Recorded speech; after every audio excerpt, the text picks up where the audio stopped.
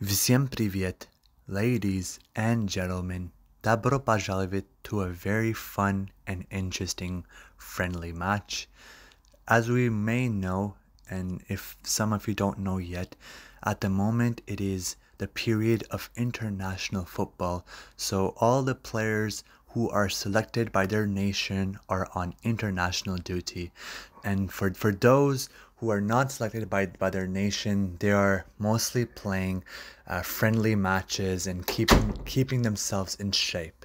So, with that being said, Zenit St. Petersburg played against FC Kairat which is you know a very fun club to play against you know we always have much fun when we play against them not in a in a degrading way but in a way where it's generally very fun to play and it's always a delight even though it's not serious matches we still play football we still have fun so uh, I don't have much to say on today's match since it was purely fun. It was purely to keep ourselves in shape and just have a good a scrimmage, a good match of football. So the first thing I, do want to talk about, it was really fun to see that on each side, uh, so Kairat had Russian legend, former footballer Arsene Arshavin, who is an absolute legend of Russian football, has played some big matches for some big clubs in Europe. I think he played for Arsenal as well. He is a legend. Every Russian fan respects Arshavin.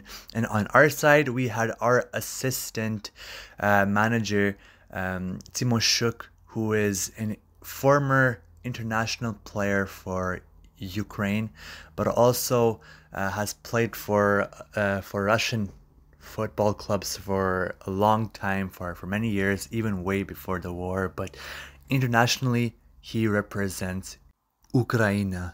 So, as we may know, a lot of people have strong dislikes for Timoshuk because he's managing Zenit, a Russian football club, and he's living in Russia and also has has married a beautiful Russian woman. So obviously Ukrainians they hate it. Uh, they have strong dislikes for him since many Ukrainians they they hate Russians.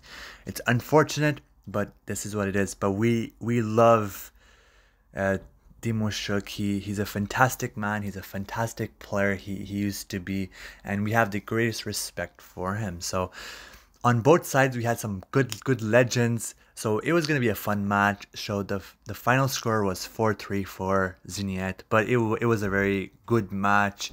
Both clubs scored some big goals, and honestly, no addition to add. Uh, I'm not gonna take any much longer. Just wanted to say that it was it was really fun to watch. It was a good match. It was a lot of fun, and I was really happy to see Arshavin back on the pitch alongside Timoshuk.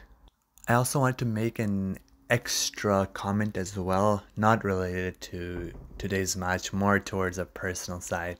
It was really sad, to be honest, to see uh, Sergeyev not with Zenit anymore. I already made a video, but I didn't make a, a, personal video like talking about his impact on the team, on the club. And it, it's just really sad to see him go. He's such a good player. He's still a wonderful player. And uh, it just really sucks. It's the same, the same feeling that I had when Malcom left. Same impact Ivan Sergeyev has had on Zenit. And I know he didn't start his career with Zenit, but I, but he became an instant a legend at our club. He scored like you know four or five goals per matches at times. It was, it was insane to watch him. It was the same type of production with, like Malcom had with us. So I'm I'm really sad.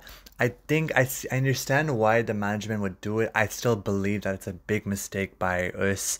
He's still a fantastic player. Imagine if we had him with Sobolev and uh, you know Glushenkov, Cassierra, and the rest. It could have been special, but at the same time, we do need some space.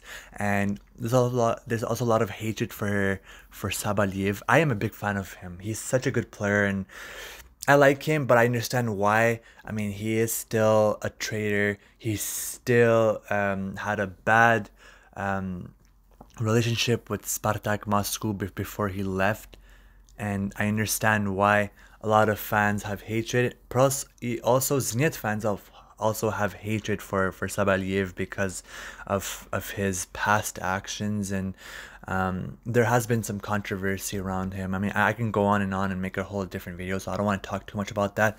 But the most important thing for me is that he is a fantastic player on the pitch, and he's he's gonna add a big, big gameplay to to Zenit and he will definitely be a strong addition. He will definitely make a big impact.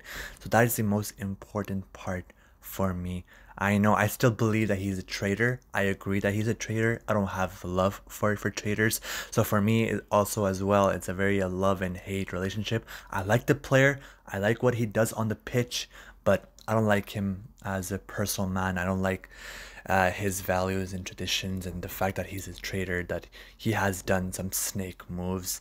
Um, but the most important thing is he he performs first, that he, he scores a lot of goals, and we need to dominate and just forget what he has done outside. But you know, like like I said, more of a love and hate relationship, uh, not more than that, and just just you know see him as a football player. I know he his, his father hasn't been too kind to, to Zenyatta and he has made some bad remarks for us.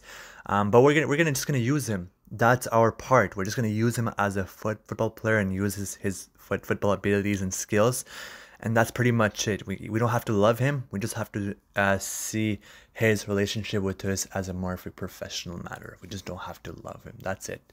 So Slava, Slava Zenit, spasiba for, for watching my video. I wish you all a good night. Take care, everybody. До свидания.